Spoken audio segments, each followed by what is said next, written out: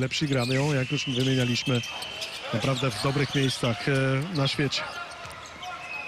Berisha, może wreszcie jakieś ofensywne zagranie, ładnie minął, dograł do Karnowskiego, brawo.